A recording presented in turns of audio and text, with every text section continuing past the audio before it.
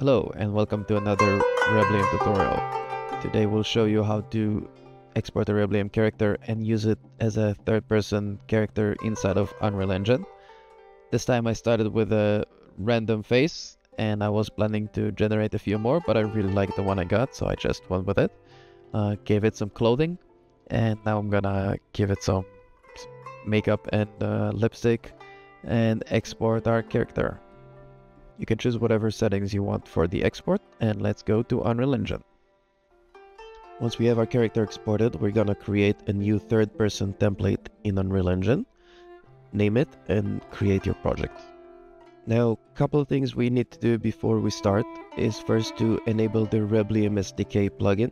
So we're gonna create a new folder inside of our Unreal Engine project, call it plugins, and copy the Reblium SDK with the correct version of our project to that folder. Before restarting our editor, we're gonna enable another setting called skin cache. It should get automatically enabled, but in Unreal 5.4 it doesn't.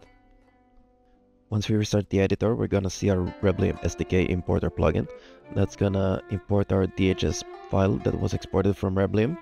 We can give it a name, and now we can see everything imported with the blueprint and assembled.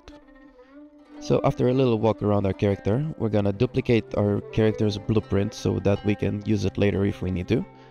And we're gonna look at the Reblium character crucial parts for it to work. So we have the event graph, construction script, and the Reblium setup.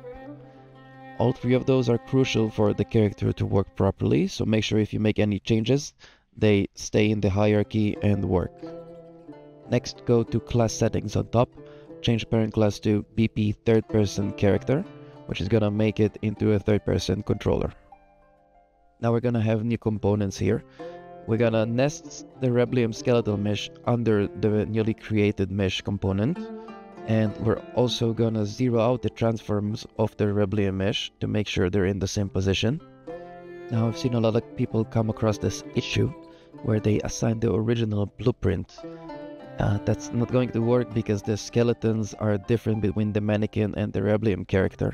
So as you'll see now, it will break the character. And I don't think anyone wants that, but to each his own. So we're gonna disable that and I'll show you what to do to fix that. We need to retarget the animations. So we're going to find the animation blueprint, right click it and hit retarget animations. Assign the Reblium character as the target skeletal mesh, select the animation blueprints that you want to export, and export animation. You can give it a prefix so you can find it later. Now we see it, all the animations and the animation blueprint were exported into our content folder. And now we're gonna assign the animation blueprint with the retargeted animations. And now we can see everything work as expected. We have one more thing left to do, and that is to copy the blueprint from the original controller to the Reblium character. If we don't do that, our character will not move. So we need to go into the original blueprint that came with the template. And we're gonna copy the entirety of the event graph from the original blueprint into the Reblium blueprint. We're gonna need to merge a few things. So after making sure we copied everything from the original blueprint, we're gonna go into the Reblium blueprint and paste it there. Control V to paste your nodes and just make sure you have everything in view so that you can attach it together. We're gonna blend both uh, events together basically, so just grab Reblium setup and connect that output into the cast to player control. Compile, save and close your blueprint. Now before playing our game, we need to set the pawn to our newly created blueprint. So in default pawn class, we're gonna select the Reblium blueprint that we just made.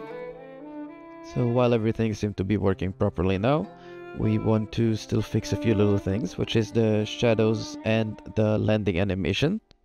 To fix the shadow, we need to create a physic asset for the Reblium character. So right click the skeletal asset in the folder, create and assign a new asset, and whatever setting is okay you can edit it later or not. For the shadows it doesn't matter. And for the landing animation we're gonna find the landing animation that we exported earlier and change the additive anim type to local space. Now we see everything is working properly and we have our character ready. Now I'm also gonna show the other way around, which is applying the Reblium character to the original uh, controller because I saw that some people also uh, had issues with that and asked how to get uh, that done so I'll show the other way around.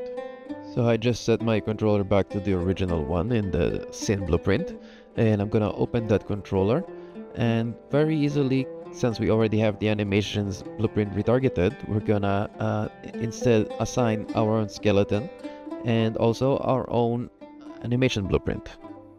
Then we're gonna add some groom components so that we can assign our groom assets and uh, binding asset.